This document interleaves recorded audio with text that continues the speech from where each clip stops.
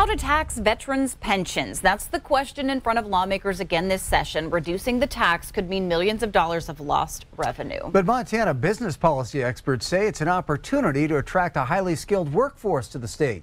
MTN's Jackie Coffin tells us more. Unemployment is low, but still a lot of businesses are looking to hire. Local business leaders say there's an entire population of skilled workers our state is missing out on.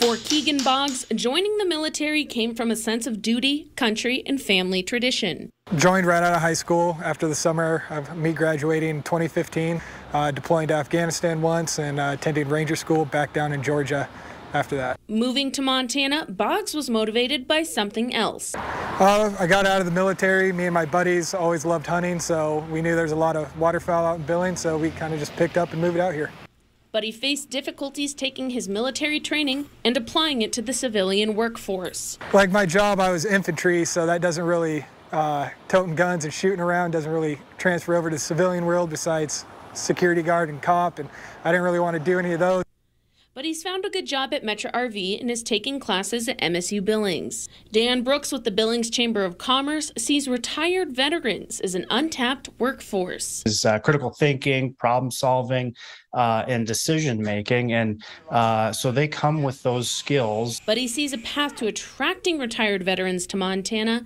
through a pair of bills now moving through the Montana legislature. We're looking at this potential legislation here, uh, exempting uh, portions of military retirement income to help uh, make Montana a little bit more attractive to those who are exiting military service. So the bills would excuse up to 50% of military pensions from income tax. But the bill's been carried before, stalling in the past sessions without full support from Democrats and Republicans. The criticism is this the loss of income to the state with as much as $9 million of lost revenue a year.